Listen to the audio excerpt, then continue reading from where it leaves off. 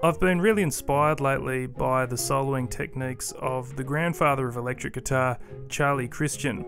So, in this lesson, we're going to have a look at a very cool triad substitution lick that I found in one of his solos that you can instantly implement to get some really creative effects in your improvisations. Let's get right into it right after this.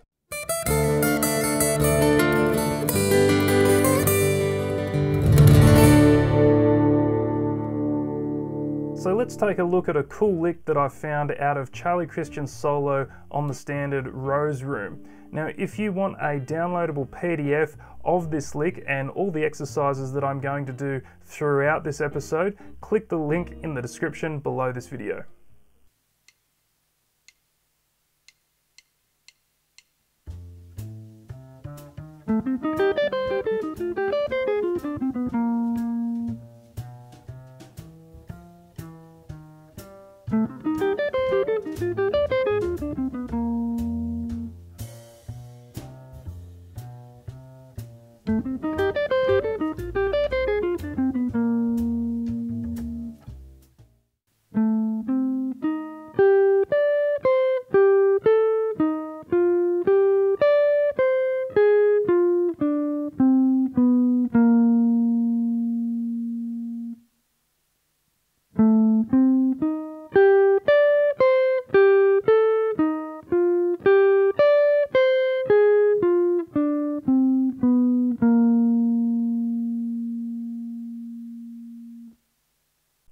So you can basically learn this lick and apply it in your improvisation straight away. It works really well over dominant chords, gets a great jazzy sound. But what I want to do specifically in today's episode is to look a bit more deeply inside the nuts and bolts of what makes this lick sound like it does.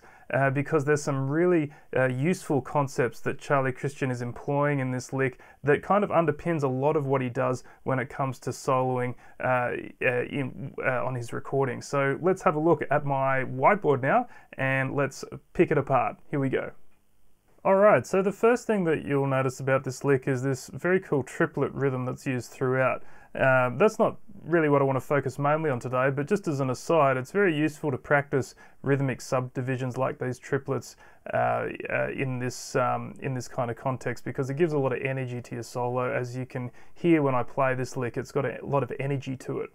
So, but the, the main thing is I want to look at the harmonic aspects of this lick. So if we go to um, uh, the first bar here, uh, we'll see that uh, the bulk of this uh, is basically an F13 arpeggio. We can see it's missing um, the root most of the time, but it has, you know, the A, the C, the E flat, the G, and the D, uh, all the tones out of F13 um, and kind of doodling around with that.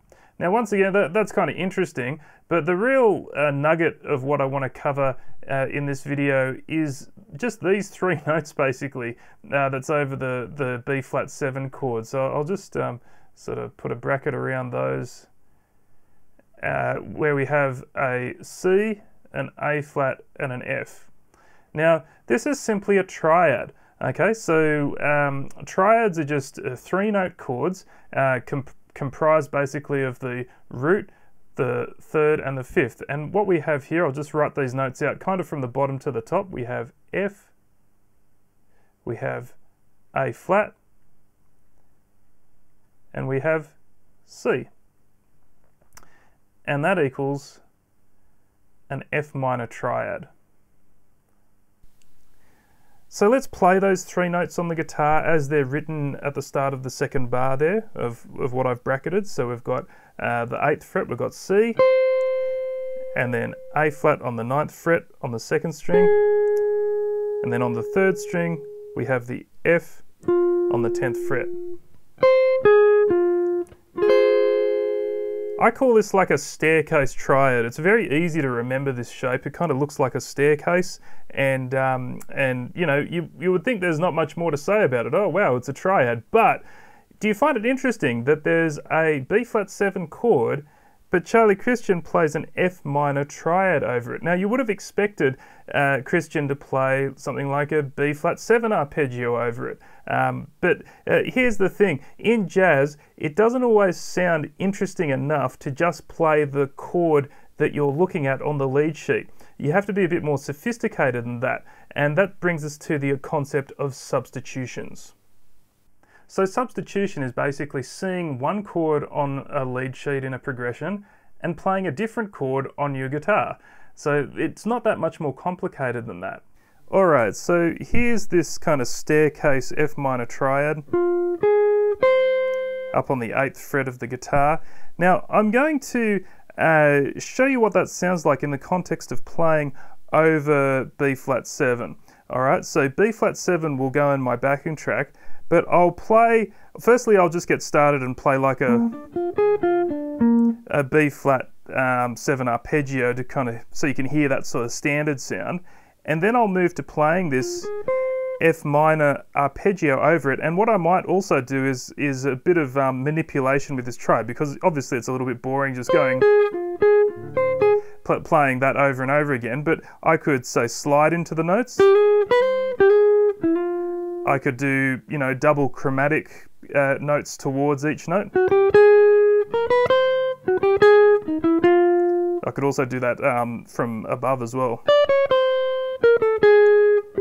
I'm just I'm just playing two notes above my target tone in the arpeggio there. Okay, so I'll try to kind of jazz these up a bit, but let's have a listen to what uh, this kind of concept sounds like compared to just playing uh, the standard chord off the progression. Okay, so here's B flat 7. Now I'll do the F minor arpeggio.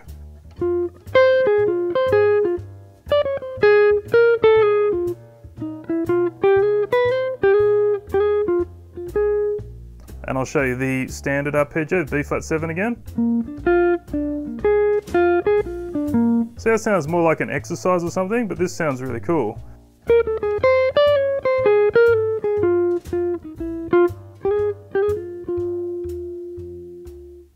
Okay, so it sounds pretty cool, doesn't it? And it's a very easy technique. You basically just play this little triad shape, uh, but in the context of substituting over another chord to get some really interesting results. Let's have a look at my whiteboard again to work out exactly what's going on here.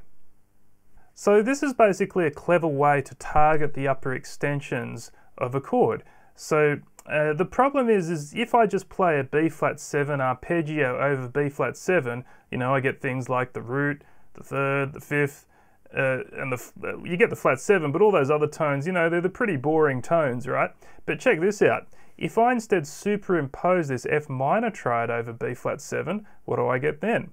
Well, I get uh, F, uh, you know, it's the root of an F minor triad, but if I think about it being in terms of belonging to uh, B flat 7, that would actually be the fifth. The A flat would be the flat 7. And the C would be the 9. So you can see that without having to think about it too much, if I simply play this triad over this chord, I target these quite colourful chord tones, the flat 7, but in particular the 9.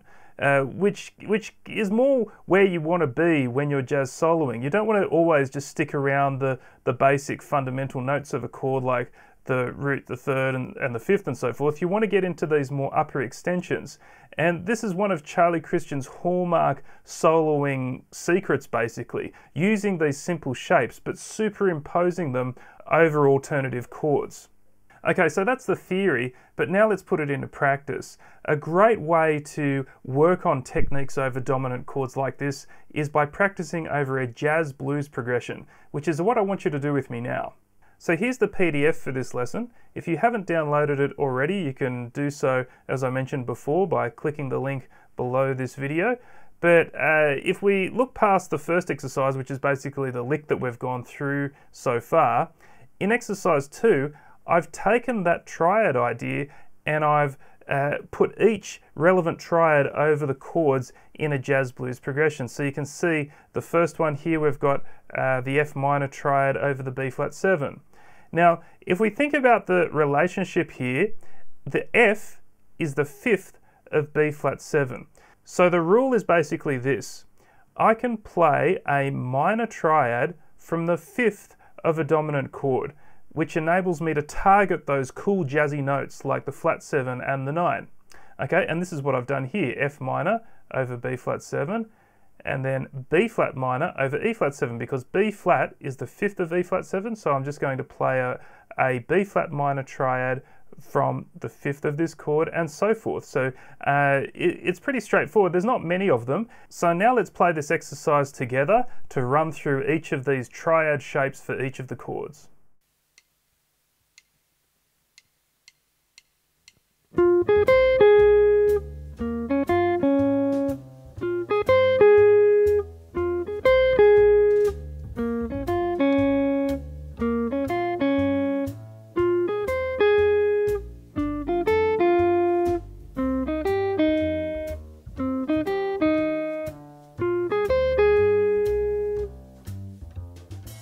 Okay, so pretty simple and not that interesting, but remember how I was messing around with the arpeggios before, putting those little approach notes in, slides, enclosures, changing the rhythms up a bit.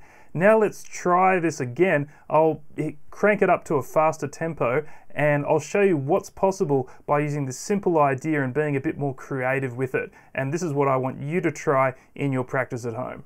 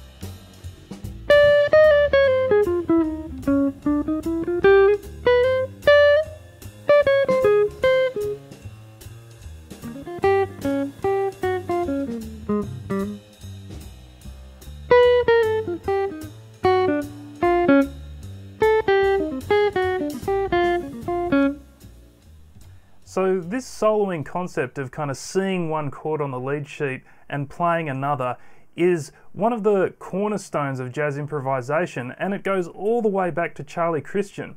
So you can see that although uh, Christian's music is nearly a century old now, the concepts that are contained inside his music is so powerful and useful to jazz soloists even today. So I strongly recommend that you explore this line that we've covered today, but also other lines from Charlie Christian as well. And I plan to feature more of those by this magnificent musician uh, in upcoming episodes on this channel. So thanks very much for watching and I'll see you in the next episode.